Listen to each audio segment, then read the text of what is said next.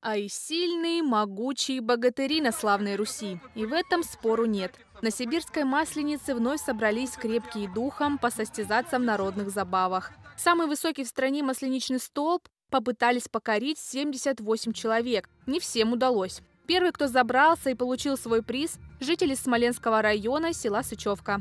Чтобы, да, вот залезть на столб, есть какая-то подготовка? Сила в руках, чтобы была, чтобы сжать его. Очень скользкий. Я его сам шлифовал, этот стол. Так что некоторые нюансы знаю. Вот третий раз здесь залазил. Это вы Вот третий холодильник.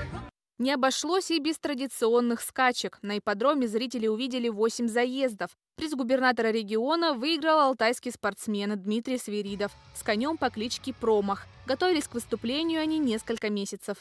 Ну, честно, вот от этой лошадки, конечно, не ожидал. Очень удивило. Он э, был по заезду аутсайдером, на самом деле.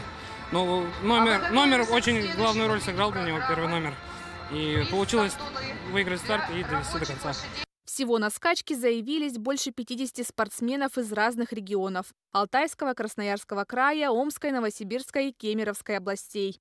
Очень шикарно, все очень интересно. Мне очень нравится, что традиции сохраняются, особенно на ипподроме, когда а, был забег с лошадями. Это потрясающее зрелище. Ну и вообще все такие на позитиве, все танцуют. Приехал с Казахстана, город Кустанай. И здесь нормально все, красиво, хорошо. Нравится. Ну, самое это главное. Люди все как-то это по-доброму Какие все красивые. Нам нравится все, русская народная тема.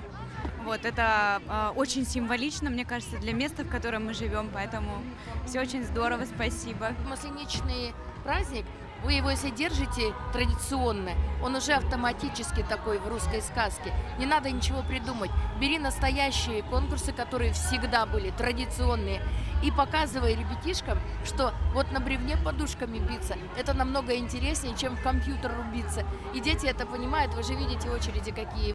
Изюминкой праздника на этот раз стал фестиваль самоварного чая. Его провели впервые за всю 16-летнюю историю существования сибирской масленицы. А вот и он, самый гигантский самовар. Размеры невнушительные. Поверили?